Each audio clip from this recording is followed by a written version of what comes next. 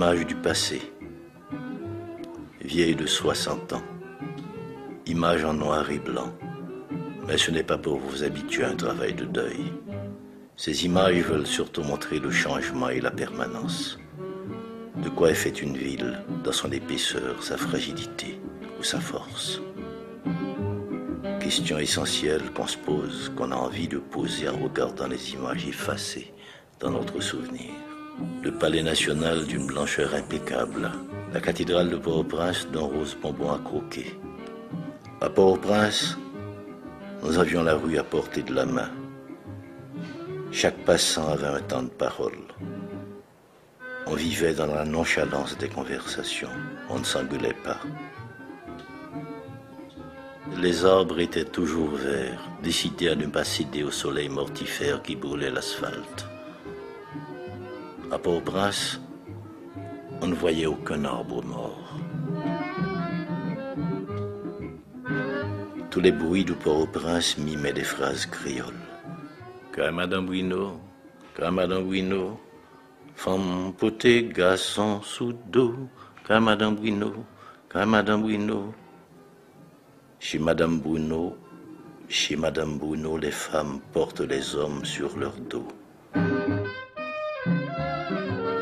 Café grillé,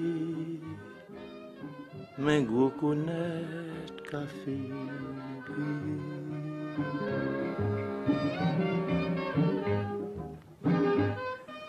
Sous les vérandas, les adultes jouaient aux cartes ou aux dominos.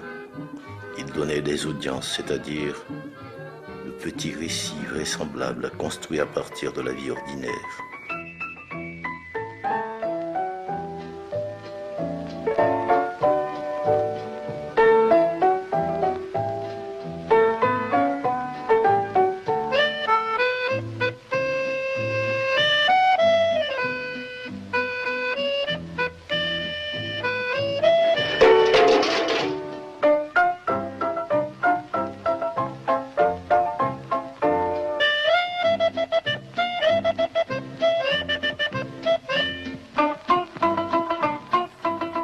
Je viens dans ma ville qui se fait ville parce que chanter, nommer, rêver, nous dit Anthony Phelps. Moi fait là, you bel petit pays qui baignait nos mers des Antilles. Pays m'si là, oui me révèle, tellement douce, tellement tranquille.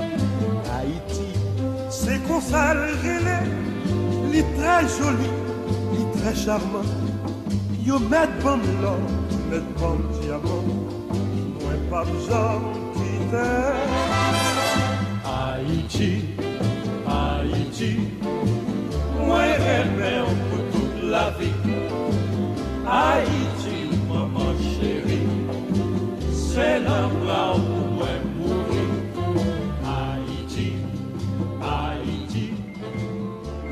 Soir, les enfants se rassemblaient pour raconter des histoires. Nous apprenions à avoir peur gentiment. Les fêtards dansaient partout dans Port-au-Prince jusqu'au petit matin. La modernité faisait son entrée lentement par les boîtes de nuit et de casinos internationaux où les gens riches acceptaient de perdre. La ville vivait la nuit et les néons des enseignes lumineuses donnaient à Port-au-Prince une couleur d'incendie. La ville avait ses poètes, Oussan Camille, René Bélance, Jean Brière.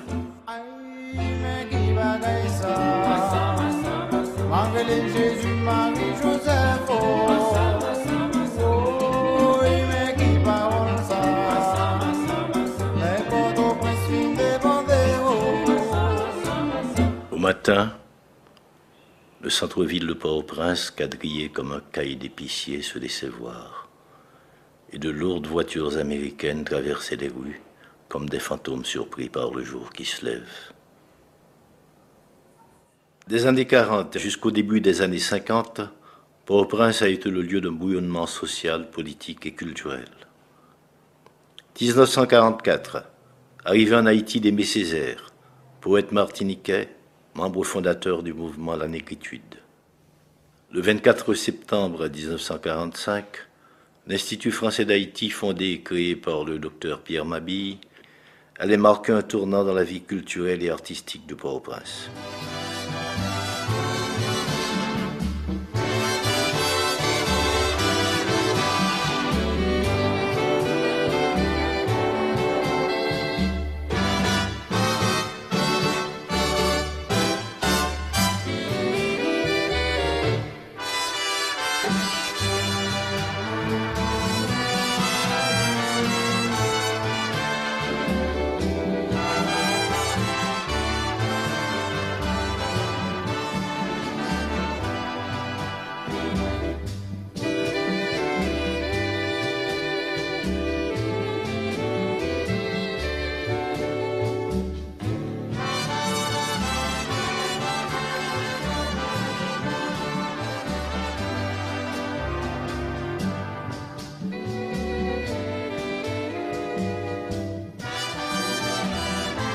4 décembre 1945, séjour d'André Breton en Haïti. Poète, théoricien, ami de Pierre Mabille et chef de file du mouvement surréaliste, il est accompagné du peintre cubain Wilfredo Lam. Ils seront accueillis au restaurant Le Savoy par les intellectuels, poètes et artistes haïtiens.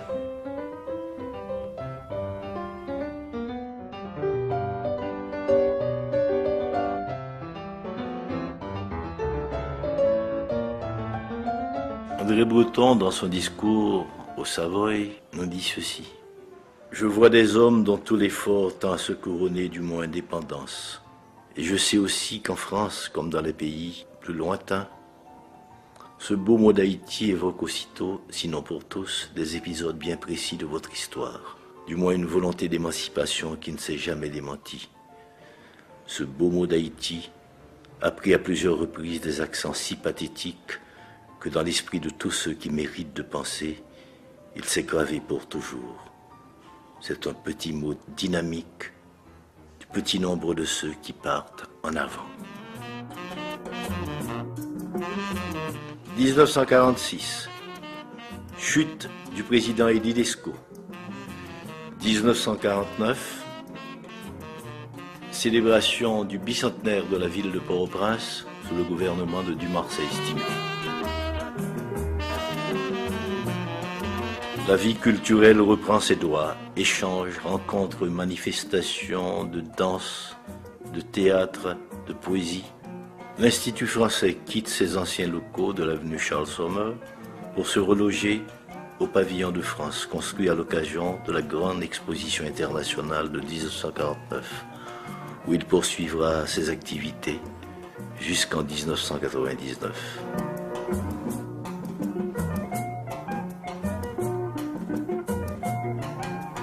Logé actuellement au Bois Vernat, l'Institut, cette vieille dame franco-haïtienne, a retrouvé son air d'autrefois. Elle semble même prête à s'accorder aux promesses du tricentenaire de cette ville, au prince qu'il a vu naître.